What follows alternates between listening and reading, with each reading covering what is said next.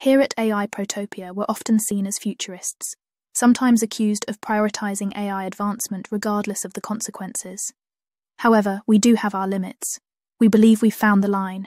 In this instance, it has not only been crossed but leapt over. Virtual prison sentencing through AI. Welcome to Cognify, a facility designed to treat criminals like patients. Instead of spending years in an actual prison cell, prisoners could finish their sentence here in just a few minutes. Cognify could someday create and implant artificial memories directly into the prisoner's brain. These complex, vivid, and lifelike memories are created in real time using AI-generated content. Depending on the seriousness of the subject's crime and their sentence, the memories could be tailored to the rehabilitation needs of each subject. The artificial memories implanted by Cognify would be seamlessly incorporated into the existing neural networks of the brain, preventing cognitive dissonance and ensuring the subject experiences the memories as if they were real. The Cognify concept offers a new approach to criminal rehabilitation, transforming how society deals with offenders by focusing on rehabilitation rather than punishment. First, the prisoner is given a choice, either spending tens of years in a prison cell or seeking fast-track rehabilitation through artificial memory implantation. If the prisoner chooses to undergo fast-track rehabilitation, the Cognify device is used. Next, the prisoner undergoes high-resolution brain scanning to create a detailed map of their neural pathways.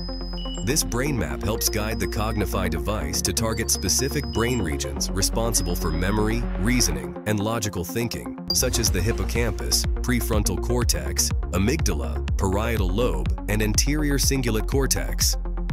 Once the target brain regions are identified, Cognify is then placed around the head of the prisoner. The intensity and the type of artificial memories is then adjusted depending on the crime.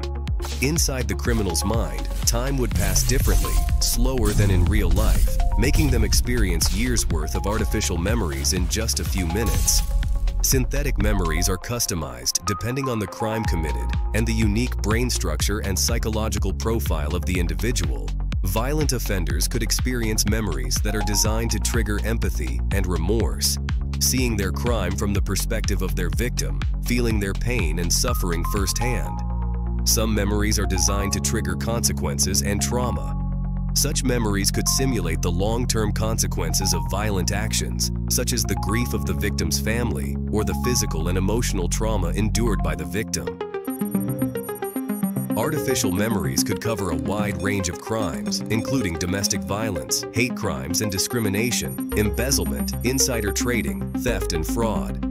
Cognify Emotion Regulation System could modulate neurotransmitters and hormones to induce specific emotional states, such as remorse or regret, which is crucial for rehabilitation. Real-time monitoring and feedback mechanisms could track the prisoner's neural responses throughout the process, allowing the system to adapt and optimize the rehabilitation in real time with new visuals, sensation, and realistic AI-generated content.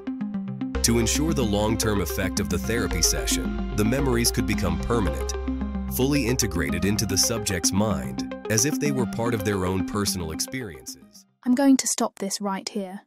I don't even know where to begin with the sheer absurdity of this concept. It's an incredibly bad idea that ignores the complexities of human behaviour and the justice system. This isn't just a step too far, it's a leap into an ethical quagmire. Now, that is strictly our opinion.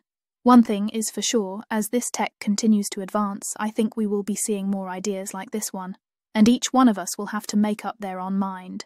When does AI go too far? Thanks for watching, your support means everything to us. Please hit that like button, and if you have not already, please subscribe. See you next time.